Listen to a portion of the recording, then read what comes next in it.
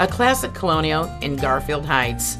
Located only a half mile from I 480, this home features three bedrooms and two baths. The kitchen has an eating area with a window overlooking the backyard. The living room is spacious with a beautiful picture window. There's also a formal dining room with a door leading to the enclosed back patio. The basement has a rec room and a full bath. The seller is offering a one year warranty.